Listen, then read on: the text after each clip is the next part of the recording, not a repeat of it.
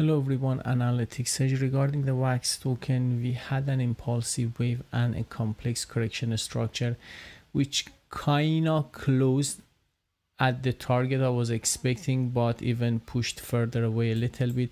What got my attention is that we have a first impulsive wave and possibly we will go for the fifth wave. The invalidation for this analysis is here. Any touch to this level ignore the video.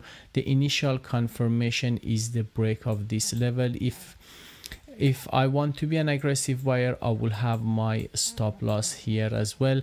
But I'm expecting the market to go up. Then we will have the correction and then I can decide if this market is gonna go up or not. If you want to have access to my trade follow-ups and other details please go to my discord channel. And there for every ticker I have a channel and you can follow that if you're interested. Thanks for watching and have a good night